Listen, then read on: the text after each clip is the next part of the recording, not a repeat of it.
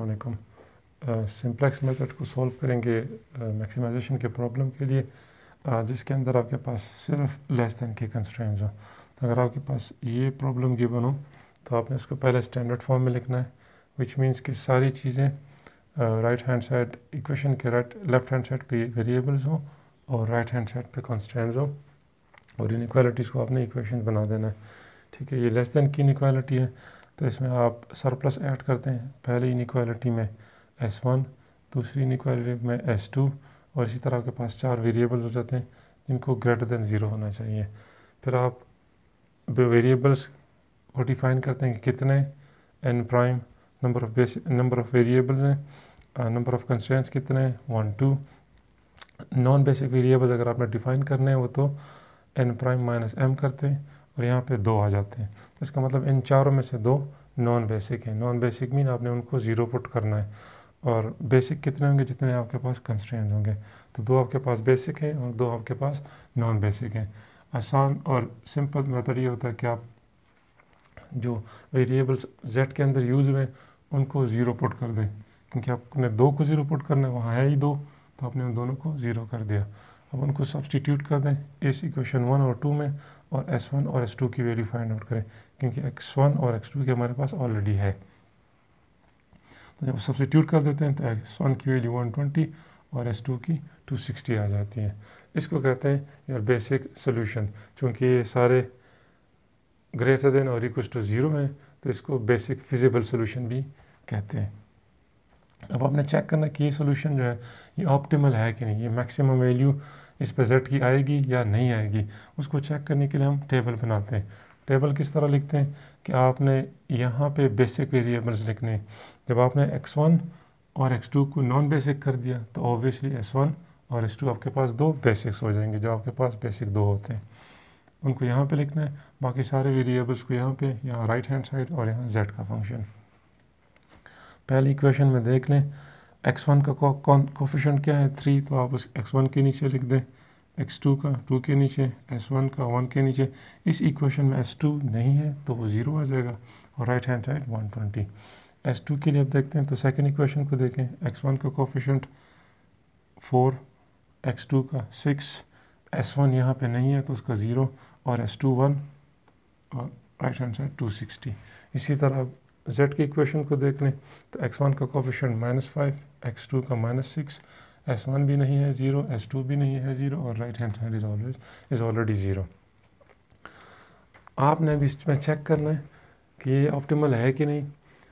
जब right hand side को छोड़ के यहाँ पे जेड वाले में कोई भी नेगेटिव ना बचे, इसका मतलब होगा कि ये वाला सोल्यूशन ऑप्टिमल होगा। अगर यहाँ कोई एक भी नेगेटिव है, फिर आपने इसको सॉल्व करना है। इसको सॉल्व कैसे करना है? जो सबसे मिनिमम वैल्यू होगी नेगेटिव में, आपने उस वाले कॉलम को चूज़ करना है। तो इसमें सबसे मिनिमम कौन सी है? ये वाली है तो आपने इस वाले कॉलम को चूज़ कर लिया। माइनस सिक्स सबसे मिनिमम है तो इस वाले कॉलम को चूज़ करना है। रो को चूज़ करने के लिए आपने क्या करना होता है? उसी कॉलम में माइनस जेड को छोड़कर जो बाकी वैल्यूज़ होंगी उसकी आपने रेशो फाइंड आउट करनी है राइट हैंड साइड के साथ। तो 120 twenty over two is sixty one twenty divide by two हो जाएगा और two sixty divide by six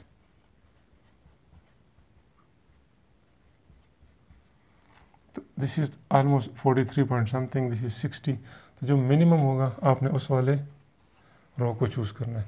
इसका मतलब आपने इस वाले रो को चूज़ करना है। इस वाले रो को कहते हैं पिवट कॉलम सॉरी इस वाले कॉलम को कहते हैं पिवट कॉलम इस रो को कहते हैं पिवट रो और इस एंट्री को कहते हैं पिवट और पिवट एलिमेंट तो आपने इसके ऊपर रो ऑपरेशंस करने और इसको सॉल्व करना है।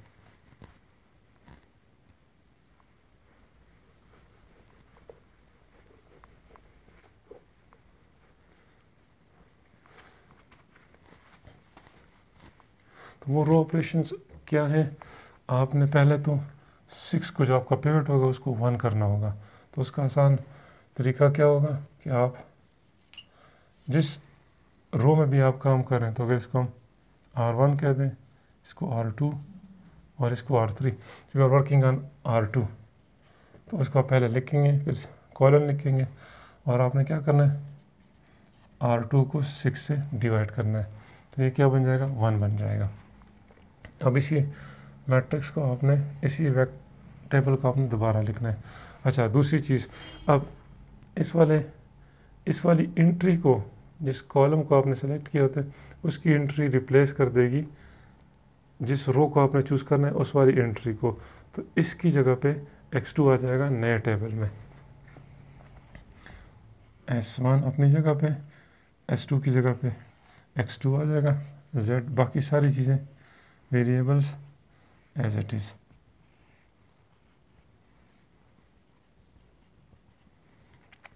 आपने ऑपरेशन किस वाले पे किया? इसके ऊपर तो फोर बाई सिक्स क्या हो जाएगा?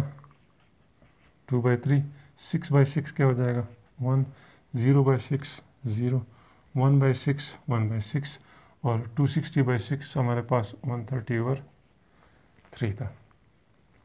अब आपने इस रो को यूज़ करते हुए इसके ऊपर टू को भी ज़ीरो करना है और इसके नीचे माइनस सिक्स को भी ज़ीरो करना है।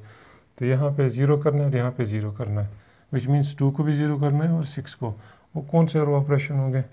आर वन के ऊपर आपने ऑपरेशन करके इसको ज़ीरो करना है। इसको यूज़ करते हुए। अब वन के साथ हम क्या करें कि हमारे पास टू आ जाए और टू को कैंसिल कर दें? वो होगा आर वन माइनस अगर हम इस वाले को माइनस टू से ज़रब दे दें इसके साथ ऐड कर दें तो इसको कैंसिल कर देगा। इसी तरह आर थ्री में, इसमें माइनस सिक्स को हमने ज़ीरो करना है वन से। तो वो कैसे करेंगे? आर थ्री अगर इसको हम प्लस सिक्स से मल्टीप्लाई कर दें, और इसके साथ ऐड कर दें तो ये ज़ीरो हो जाएगा। ठीक है? अब आप इसको माइनस टू से मल्टीप्लाई कर दें, और इस वाले में ऐड कर दें। तो जब आप ये सारी एडिशन कर देते हैं तो आपके पास ये वैल्यू आ जाती है zero one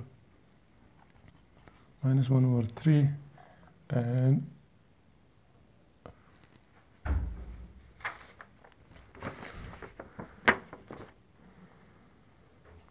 thirty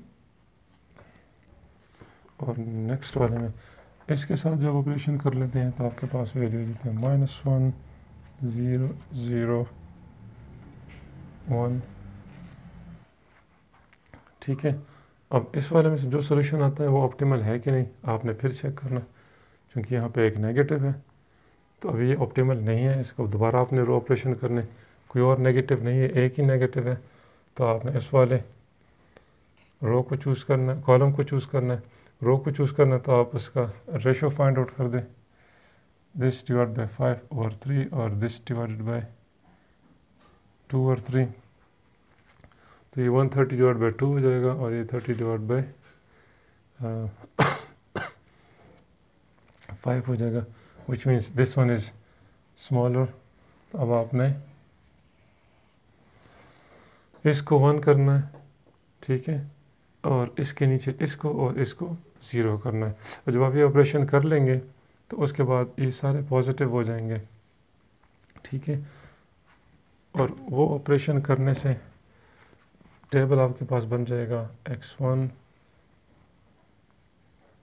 X two Z X one X two one बाकी टेबल आप लिख दें, मैं आपको सिर्फ़ फाइनल वैल्यूज़ लिख दूँगा तो यहाँ पे बच जाएगा आपका थर्टी यहाँ पे हो जाएगा ट्वेंटी और सॉरी होगा? यहाँ पे आपका होगा। यहाँ पे ट्वेंटी यहाँ पे थर्टी और z आपका हो जाएगा two eighty which means X one की वैल्यू है ट्वेंटी एक्स टू की वैल्यू है थर्टी जिसके ऊपर आपकी z की वैल्यू क्या है? टू एटी और ये सारे पॉजिटिव होंगे। तो इसका मतलब आपका प्रॉब्लम सॉल्व हो गया। Thank you